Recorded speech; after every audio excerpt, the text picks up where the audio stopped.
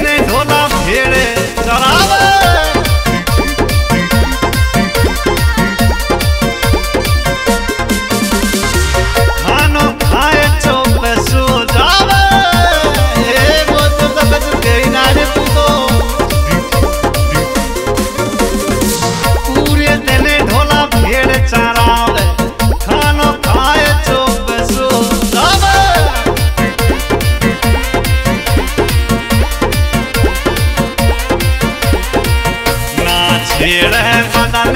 हमारे